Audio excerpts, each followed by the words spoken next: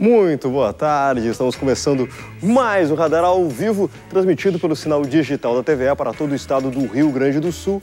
E tu pode nos acompanhar pelo teu televisor, tablet, computador ou celular. Tu também pode rever programas já exibidos que estão postados no canal da TVE no YouTube, acessando o site tve.com.br passando lá no site da TVE e vendo a listagem dos programas já transmitidos, tu pode ter uma ideia da quantidade de informações que o radar traz para ti. São vários artistas e bandas do estado, do país e do mundo afora que passam por aqui. Também dá para sacar que a gente não se detém em uma fórmula ou formato. Tem programa temático trazendo para o bate-papo assuntos interessantes que rolam por aí ou programas inteiramente musicais, mostrando a grande produção independente do estado e de todos os lugares possíveis. E nessa semana que está começando, não vai ser diferente. Então fica ligado que a gente mostra muita coisa bacana e interessante, pinta por aqui durante toda essa semana. Olha só, hoje nós exibimos uma matéria sobre um espaço aqui em Porto Alegre, onde tu pode jogar alguns games clássicos. Também tem produção musical autoral em clipe independente e ao vivo, fazendo um som, música como sempre a gente tem aqui, dessa vez com Mad Blush. Bora de som.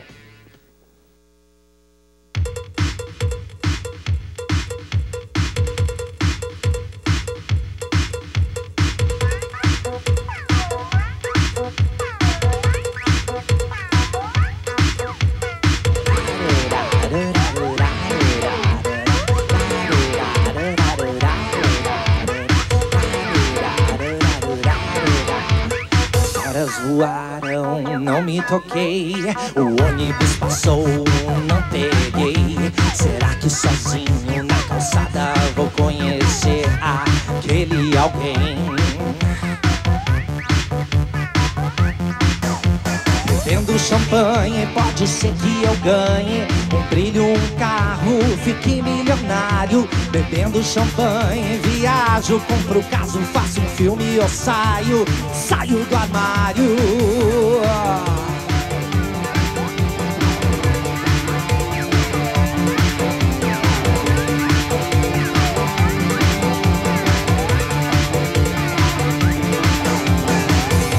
Voaram, não acordei. A conta venceu e não paguei. Você me xingou e eu aceitei. Yeah. Bebendo champanhe, pode ser que eu ganhe. Brilho um carro, fique milionário. Bebendo champanhe, viajo, compro caso, faço um filme ou saio, saio do armário.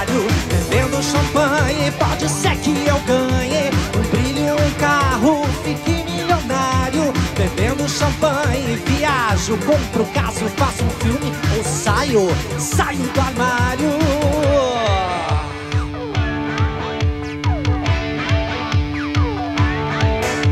Agora tô tonto, já não reconheço. Tô vendo muita gente, mas ouvindo só texto.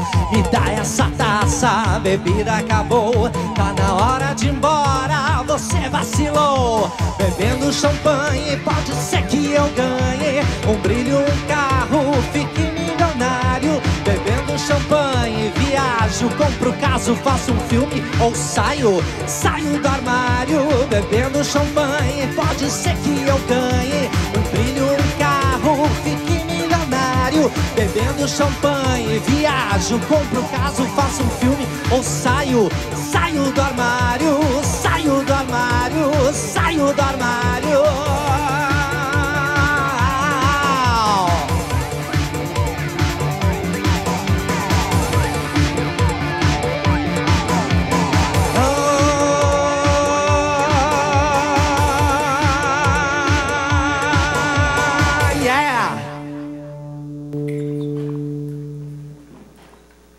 Bom, agora tu te liga numa matéria que fala sobre uma nova proposta de entretenimento da noite de Porto Alegre. Sair para jogar um videogame, um espaço onde rolam diversos games de última geração disponíveis para os frequentadores.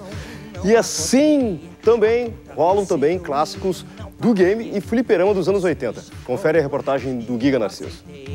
Yeah!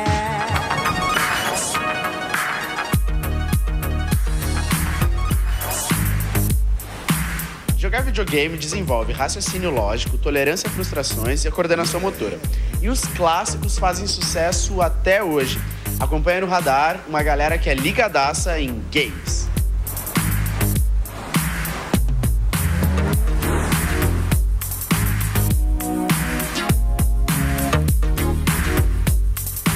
Tive vínculo com videogame desde o Atari, desde moleque, assim aquela coisa do computador, do MSX, quando tinha que fazer programação em Basic, tinha uma fitinha cassete, os ruídos da fita cassete eram os dados ali para carregar os jogos, assim. Então, né, nessa fase assim mais moleque, a gente devorou tudo que foi tecnologia nesse sentido.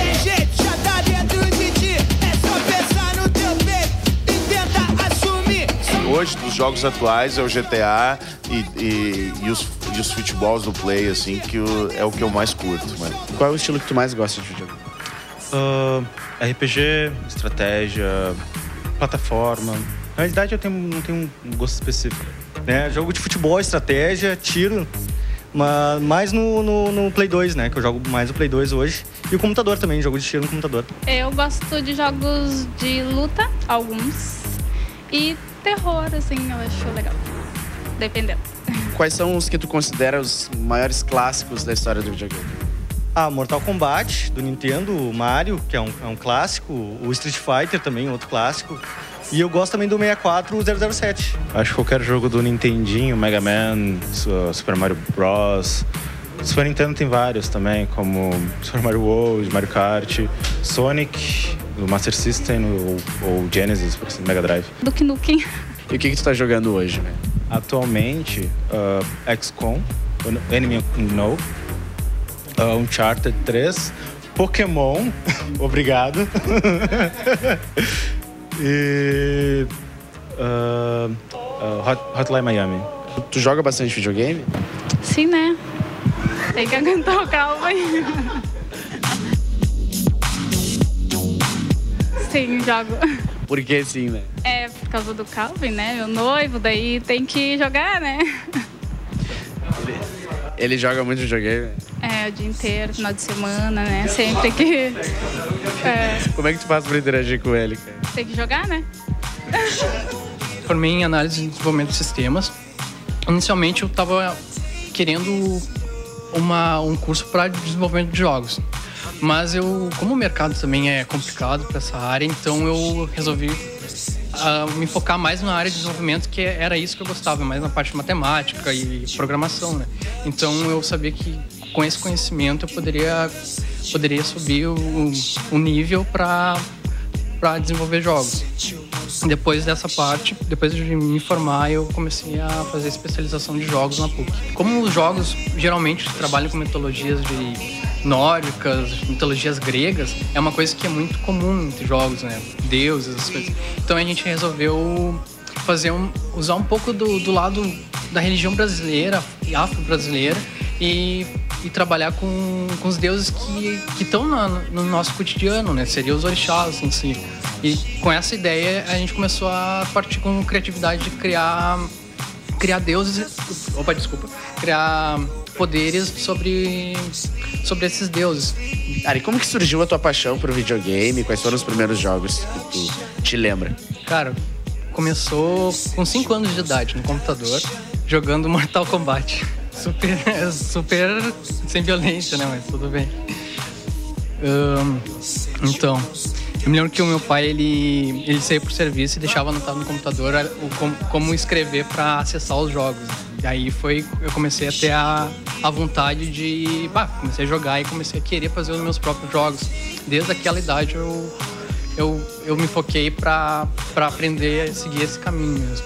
Acho que os jogos do, do passado, eles, eles primavam pela criatividade né? Os gráficos não eram tão bons e tudo, mas a jogabilidade e, e, e as funções e o próprio, os próprios objetivos, acho que eles eram mais criativos. Hoje tu tem, conta uma grande história, assim, e, e, o próprio jogador ele interage muito com o game, assim, mas acho que tudo é uma evolução. Acho que é, quando é um passatempo, quando é um lazer, tudo rola, tudo, tudo é bacana, o, o, mais retrô, a tecnologia, assim. O que eu acho que assim, o que é legal é. Eu, eu sou pai, tenho um filho de três anos, assim, então no momento que eu tô inteirado com essa tecnologia, eu sei os limites para impor pro meu filho, sabe? É, o GTA é um jogo violentíssimo, não é um jogo para uma criança jogar. I sound like somebody trying to make some paper and not get killed. Oh, my bad, Mr. Gold Card.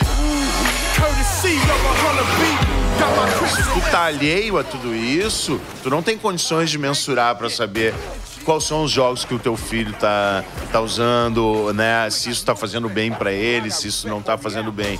Acho que tudo que é feito com equilíbrio acaba sendo saudável. Os pais têm que ensinar o moleque a, a chutar uma bola, brincar de esconder. Tudo, é, tudo, tudo, que é lúdico, ele é interessante. Eu acho que cada jogo tem a sua peculiaridade. E, e o legal é que é o seguinte, né? A, a maioria do adolescente, a maioria do cara que, que brinca com videogame, ele não faz isso sozinho. Hoje a gente tem muito essa, conex, essa conexão virtual. Você tá em casa, teu amigo tá no, no outro lugar, tu tá jogando um contra o outro, no futebol, por exemplo. Mas a minha geração, ela tinha essa coisa de estar junto junto, de um dia tu vai para tua casa, outro dia na casa do teu amigo, etc, etc. Então, a convivência, é, é, é, né, e, e criar um vínculo com uma pessoa que tem, digamos assim, os mesmos gostos de game que tu, é de certa forma é uma associação positiva no sentido de tu formar amigos, de tu ter assuntos, por mais que sejam banais e por mais que seja lazer, são coisas legais. A gente tem que ter um tempo pro ócio também, porque senão o estresse começa a pegar e daí o bicho pega, né?